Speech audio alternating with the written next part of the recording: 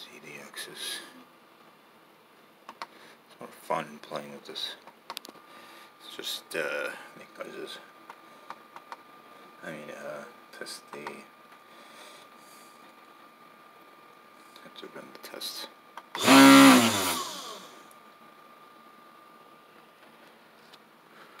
it works. That's only that much.